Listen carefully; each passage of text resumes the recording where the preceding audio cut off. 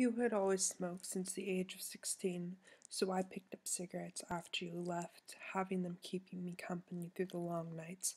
You always told me stories of alcohol ridden nights and hungover days, so I started drinking straight vodka when you dumped me.